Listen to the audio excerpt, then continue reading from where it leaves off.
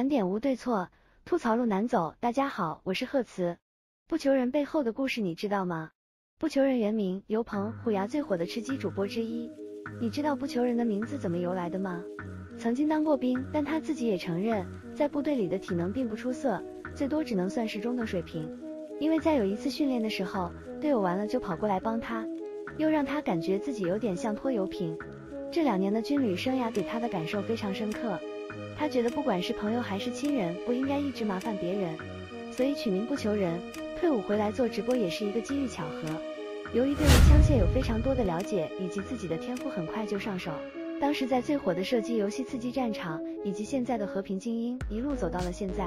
当时的不求人在虎牙是《和平精英》的知名主播，不仅人长得帅，而且技术也是非常好。凭借着高超的枪法与技术教学，不求人的游戏打法非常凶悍。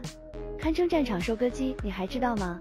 他目前全网近两千多万粉丝，日常一打四如同家常便饭，一人屠一城，没有不求人，成为他的标志性词语，迅速成为了主播的佼佼者。在他的直播间也可以学到非常多的吃鸡技巧，在直播中就会出现神仙打架，日常二十杀、三十杀的极限反杀，各种神仙操作，让小伙伴们为之惊叹。曾经因为自己游戏中的 KD 值过高而被光族封账号。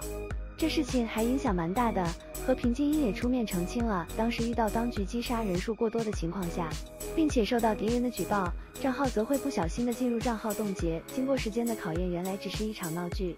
第一点，总的来说，不求人的成功与自己的技术肯定是脱不了关系的。第二点是他曾经神秘且神圣的职业背景。第三点就是他强大的实力也是毋庸置疑的。